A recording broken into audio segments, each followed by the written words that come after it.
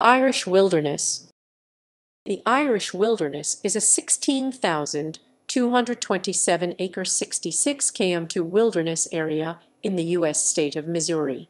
The U.S. Congress designated it a wilderness in 1984. The Irish Wilderness is located within the Eleven Point Ranger District of the Mark Twain National Forest, 10 miles 16 km northeast of Alton, Missouri. The Irish Wilderness is one of eight wilderness areas protected and preserved in Missouri. Hiking and horseback riding are popular on the Whites Creek Trail, an 18.6 miles trail throughout the wilderness. Attractions include Whites Creek Cave temporarily gated to protect endangered bats, Fiddler, and Bliss Springs, traces of old tramway railroads, and overlooks of the Eleven Point River. The karst topography of the area creates very scenic views along this trail. Wildlife present include black bear, mountain lion, white-tailed deer, timber rattlesnakes, turkey, and bald eagles.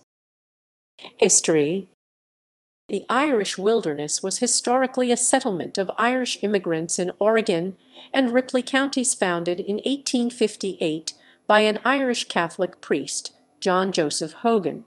The settlement was wiped out during the American Civil War and has remained a wilderness ever since. The settlers The settlers of the Irish wilderness came from St. Louis, which had a high influx of Irish immigrants in the 1840s. The Irish immigrants in St. Louis were discriminated against and were largely employed by the railroad and mining industries. Bishop John Joseph Hogan saw the potential for the immigrants to have their own land to farm and settle in families. Some land in Oregon and Ripley counties was bought and donated by a Reverend James Fox. In 1859, there were around 40 families who began to settle in the wilderness, and more were on their way. The settlement's western border was the Eleven Point River in Oregon County, from there extending east past the current river in Ripley County, as far east as Doniphan, Missouri destruction of the settlement.